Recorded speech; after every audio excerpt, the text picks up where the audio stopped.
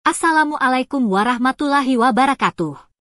Alhamdulillah, puji syukur kita panjatkan kehadirat Allah subhanahu wa ta'ala atas segala rahmatnya. Syalawat serta salam senantiasa tercurahkan kepada junjungan kita Nabi Muhammad Shallallahu Alaihi Wasallam, seorang teladan bagi seluruh umat manusia. Kehidupan awal Nabi Muhammad Shallallahu Alaihi Wasallam Nabi Muhammad Shallallahu Alaihi Wasallam dilahirkan di Mekah, sebuah kota di Arab pada abad ke-6 Masehi.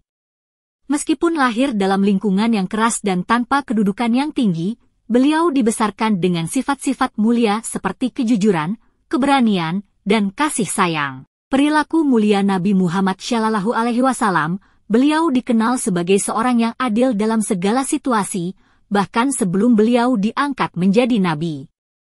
Nabi Muhammad Shallallahu Alaihi Wasallam juga mengajarkan pentingnya kebaikan kepada semua, bahkan kepada yang tidak menyukainya.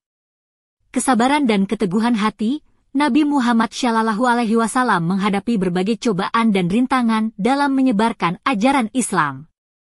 Namun, beliau tetap sabar dan teguh dalam keyakinannya.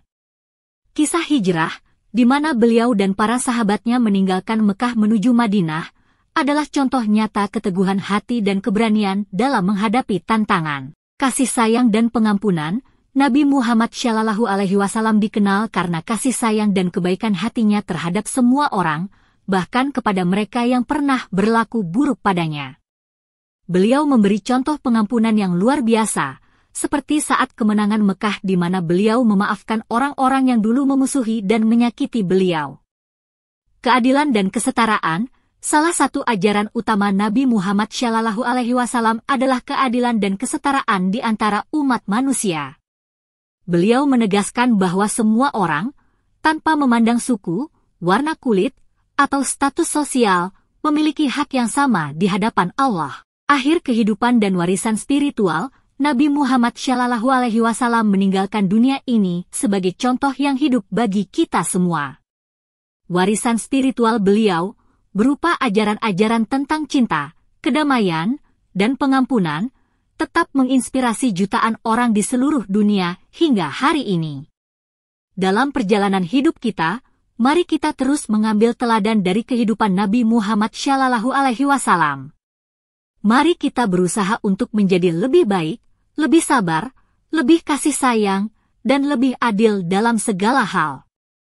Dengan mengikuti jejak beliau, kita dapat menjadi pribadi yang lebih baik dan membawa kedamaian bagi dunia ini.